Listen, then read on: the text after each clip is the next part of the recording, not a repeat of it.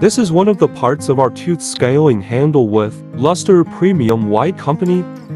This mint green is the new color.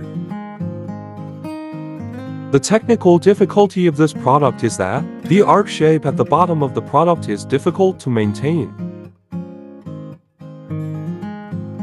The bottom of the handle we produce is curved, whether it is viewed from the side or the front, which is a technology that many factories cannot do.